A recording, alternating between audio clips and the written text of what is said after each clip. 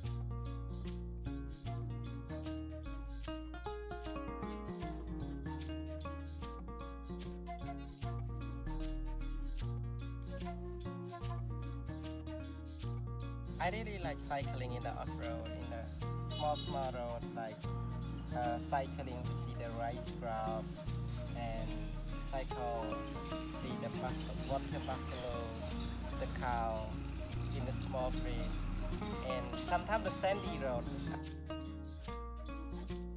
I really want to introduce cycling to my friend.